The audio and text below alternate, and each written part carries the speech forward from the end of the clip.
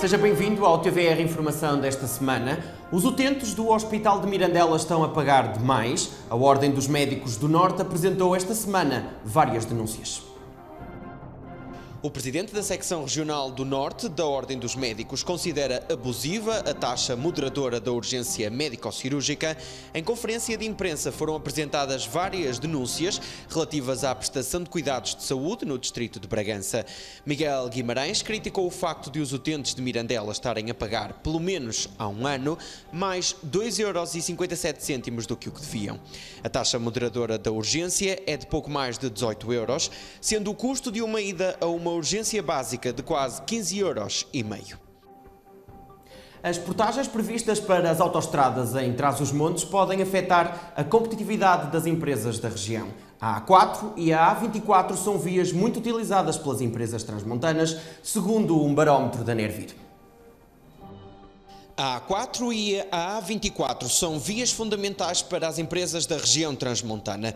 O barómetro da Nervir, a Associação Empresarial de Vila Real, veio confirmar a importância destes dois eixos de ligação. O presidente diz que as portagens previstas vão afetar a competitividade das empresas. Nós, transmontanos, temos que entender, também temos de ser solidários. O que não entendemos é a falta de solidariedade do país. Eh sendo solidário connosco no pagamento, nem queremos sequer uma discriminação positiva, não é para os moradores, queríamos uma isenção de portagens para todos aqueles que atravessassem a região, porque na realidade não temos outro meio de aqui chegar e a competitividade das nossas empresas reflete-se aí. É, é, mais um imposto, futuramente, se for portajada a A4 e, é, e tudo aponta para que sim, é mais um imposto que nos impõe, é mais um imposto que tenho dúvidas que os empresários façam refletir isso nos clientes finais, esse custo, portanto, tem mais prejuízo para as empresas. Quer a A4, quer a A24 apresentam taxas de utilização elevadas. 76% das empresas utilizam o eixo que liga Vila Real a Bragança pelo menos uma vez por semana. Já na A24 a percentagem aumenta para os 87%. Uma mulher de 65 anos morreu esta terça-feira à noite, vítima de atropelamento em Mirandela. O acidente aconteceu por volta das 21 horas, quando Maria Aurora Basílio atravessava uma passadeira para peões na Avenida 25 de Abril, próximo da esquadra da PSP, quando foi colhida por uma viatura conduzida por um seu familiar. A mulher ainda foi transportada ao hospital local, mas acabou por falecer já de madrugada, não resistindo aos graves ferimentos provocados pelo atropelamento. E falamos agora de Montalegre, onde a autarquia promete repor os salários já este mês a todos os seus funcionários. Depois da decisão do Tribunal Constitucional, a Câmara Municipal de Montalegre decidiu repor os salários a todos os seus funcionários já no vencimento deste mês. Uma decisão, segundo a autarquia, que é um tributo e uma homenagem que o Executivo presta aos servidores do município que o servem, diz o Presidente da Câmara, com honra, empenho e eficácia.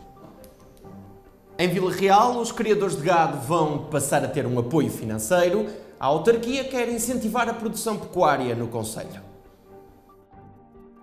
A Câmara Municipal de Vila Real anunciou esta semana um apoio financeiro aos criadores de gado do Conselho em função do número de animais que tenham.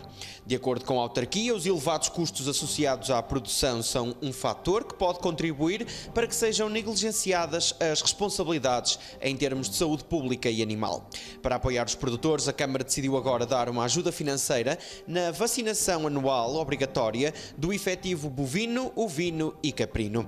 A autarquia vai assim contribuir contribuir por cada animal com uma ajuda de 5 euros para a produção de bovinos e 1 euro para os pequenos ruminantes ovinos e caprinos.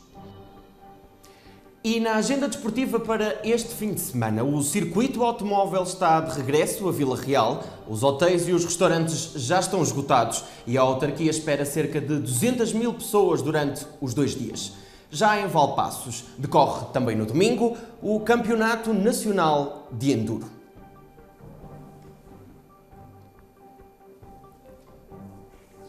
Ora, e falamos agora de miticismo. Na semana passada, Montalegre celebrou a única sexta-feira 13 do ano.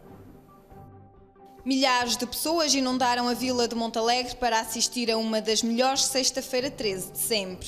Um evento memorável, único do ano, que bateu todos os recordes. Temos eh, uma, uma, uma vila completamente inundada de forasteiros, de visitantes, de gente que é amiga de Montalegre e que ajudou e que nos ajudou a construir um desígnio à volta de uma temática, à volta do esoterismo e à volta da necessidade que as pessoas têm de se evadirem e de criarem também espaços de liberdade e de entretenimento.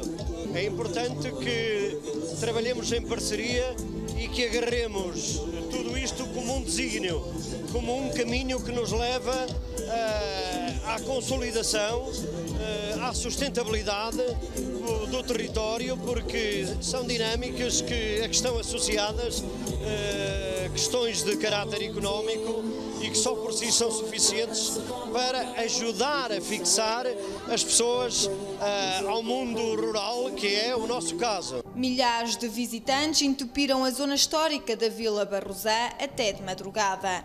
Única no ano, esta sexta-feira 13 superou todas as expectativas. E antes de fechar, dar-lhe conta que o mel de Barroso tem sido cada vez mais procurado, muito devido às distinções que conquistou este ano. A TV Regiões foi conhecer o processo, desde a produção até ao embalamento. Uma reportagem para ver na íntegra em tvregiões.com. O TVR Informação fica por aqui. Para a semana voltamos com mais informação. Até lá, acompanhe a atualidade aqui na nossa página ou no nosso meu canal. Tenha um bom fim de semana.